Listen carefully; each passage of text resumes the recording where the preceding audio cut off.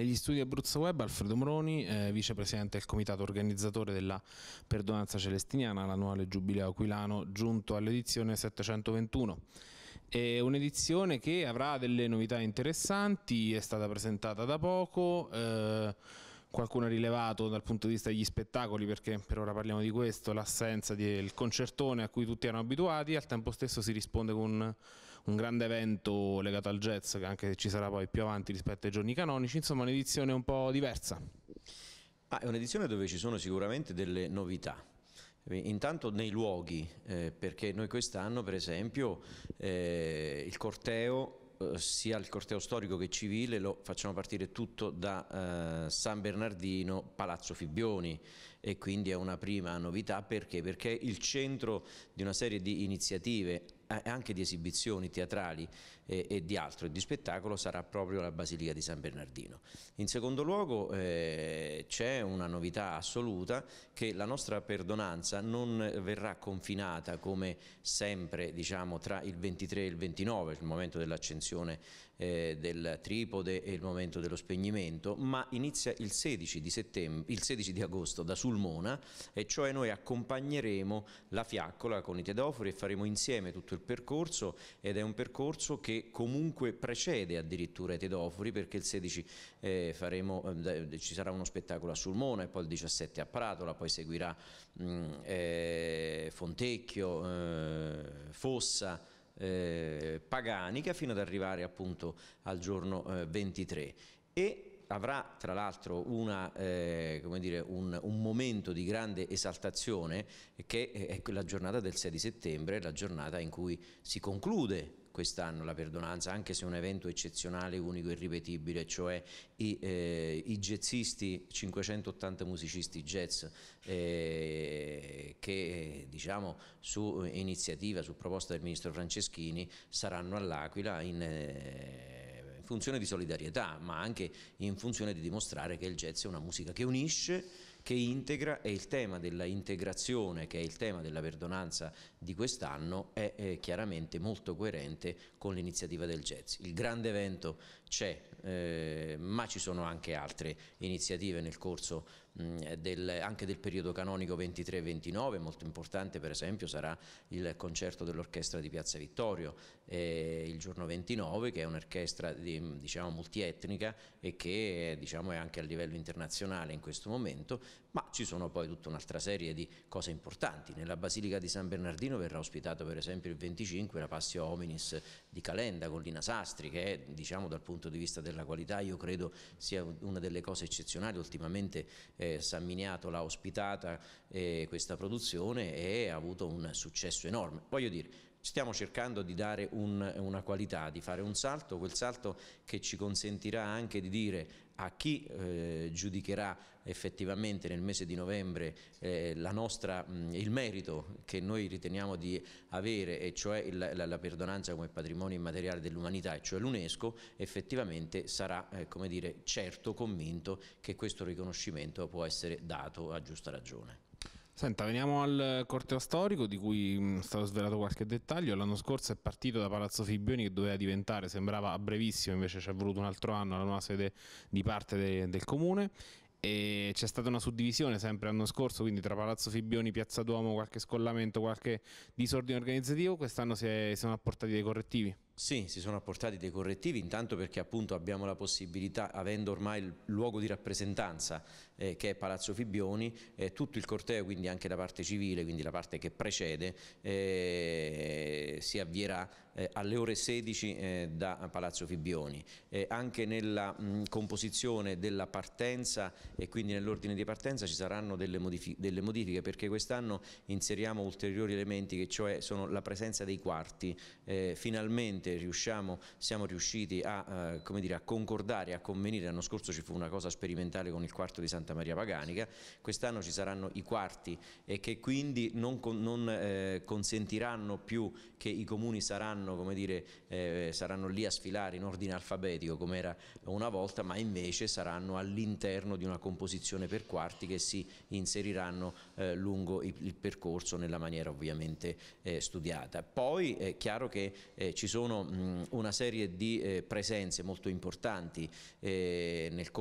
all'interno del corteo, eh, ne voglio dire soltanto alcune perché sono collegate ad alcuni eventi che quest'anno sono significativi, ci sarà il direttore del TG2 eh, Marcello Masi insieme alla giornalista Mattei e ad altri eh, suoi colleghi che saranno presenti anche al corteo. Perché? Perché nella giornata precedente saranno insigniti delle chiavi della città dell'Aquila per l'importante eh, ausilio e, e l'importante funzione che ha avuto il TG2 come testata esterna alla, a, al territorio abruzzese in relazione al terremoto e quant'altro. E poi ci saranno una serie di mh, personaggi che animeranno una tavola rotonda sul dialogo interreligioso sempre il 27 e poi ci saranno coloro che parteciperanno al torneo della pace, cioè c'è come dire una mh, condizione che stiamo cercando di eh, determinare in funzione anche di un collegamento tra il nostro giubileo, e cioè l'unica porta santa al di fuori di Roma, il giubileo annuale e il giubileo della misericordia eh, che Papa Francesco eh, ha, ha, dal mese di dicembre diciamo, celebrerà fino alla, alla fine del 2016.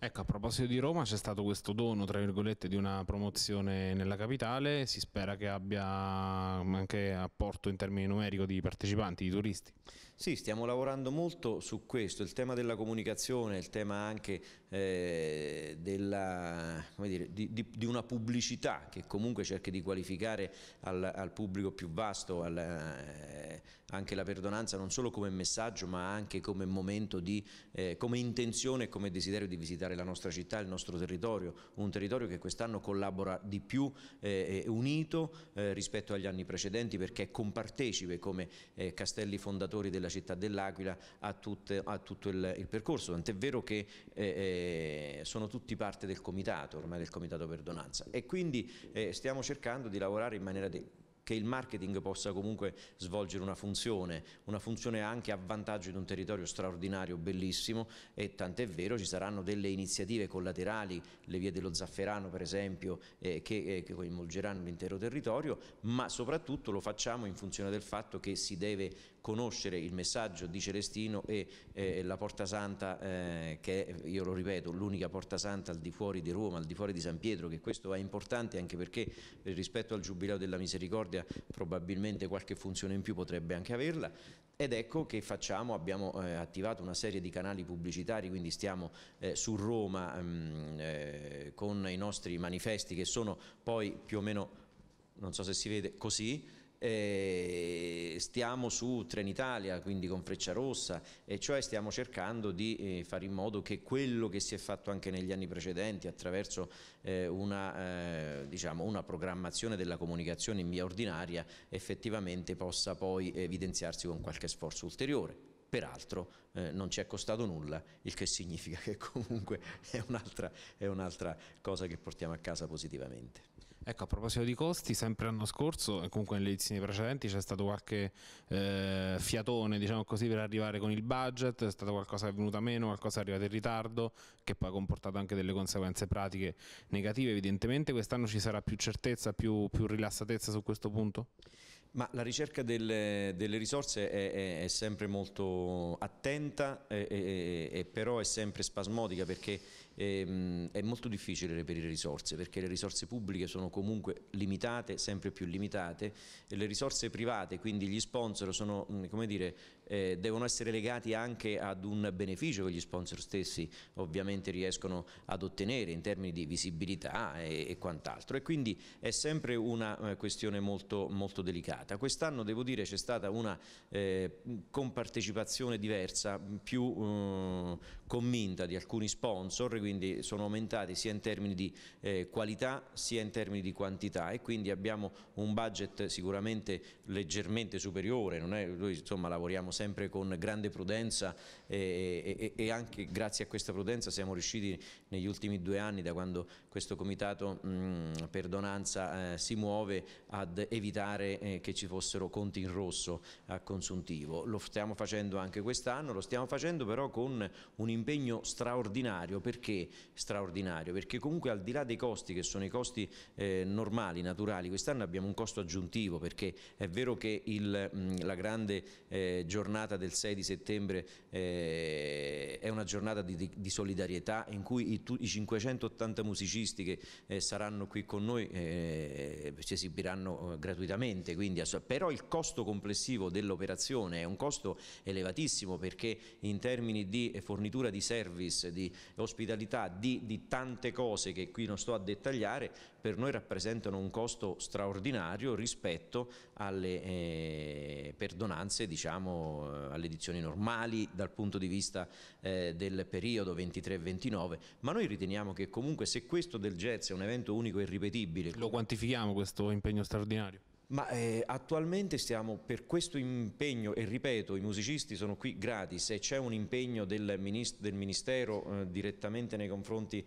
eh, di questa iniziativa e c'è poi la SIAE che eh, ci dà una grossa mano e quindi fa, fa da sponsor eh, tuttavia ad oggi eh, il costo per, per, il comitato è intorno ai 50.000 euro. Quindi in una giornata eh, utilizzare, non dico bruciare perché non sono soldi bruciati, sono soldi ben spesi eh, perché vedremo che sarà una giornata straordinaria, veramente irripetibile, eh, dove tutta la città e tutto il centro verrà animato da questi straordinari musicisti, ebbene però c'è un costo e su questo eh, noi dobbiamo, dobbiamo, fare ovviamente le nostre, eh, una, una, c'è bisogno di una grande attenzione anche per questo, perché poi rappresenta una percentuale non eh, trascurabile del budget complessivo della perdonanza.